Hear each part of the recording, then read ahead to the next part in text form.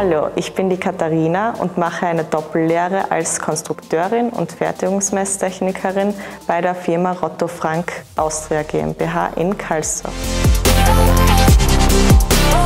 Mein Arbeitsalltag ist sehr vielseitig, weil ich aktiv bei Aufträgen beteiligt bin. Das heißt, ich verändere und entwerfe die Produkte am PC.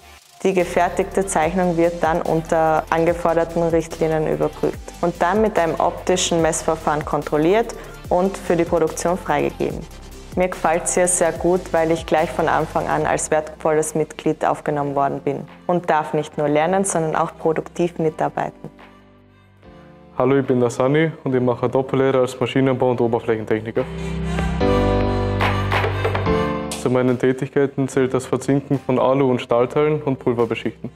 Meine Hauptaufgaben sind die Analysen und die Aufbereitung der Chemikalien in den Bädern. Ich führe auch Service und Reparaturen an den Maschinen und Anlagen durch.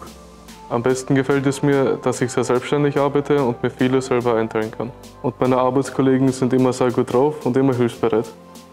Hallo, ich bin der Gizi und mache einen Doppellehrberuf als Maschinenbau- und Gießereitechniker. Ich lerne in meinem Beruf, wie man Gussdruckmaschinen programmiert und bedient und Formen ein- und ausbaut. Wenn die Maschine eingestellt ist, produziere ich Zinkteile für die beweglichen Bauteile in Fenster und Türen.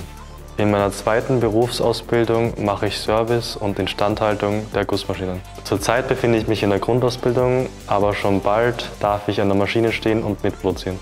Wenn dich die Lehrberufe interessieren, dann komm zum Schnuppern vorbei. Wir freuen uns auf dich.